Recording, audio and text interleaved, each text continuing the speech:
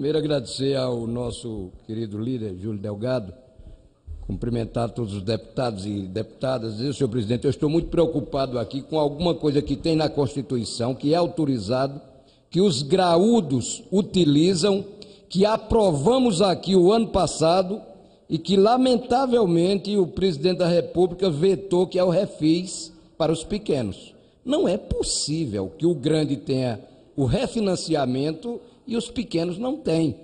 Pequenos representam no Brasil 95% das empresas, representam quase 30% do PIB, representam mais de 50% dos empregados. E o governo vetou, agora no dia 5 de janeiro, esse refis.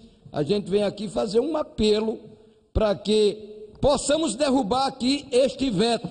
E eu, como presidente da, de uma frente parlamentar aqui, dos franqueados, quero também fazer uma referência de que os franqueados no Brasil, que foram tão massacrados pelos franqueadores, agora eles vão ter uma vez porque eles representam também mais ou menos 140 mil empresas franqueadas, mais de 150 bilhões de faturamento no Brasil.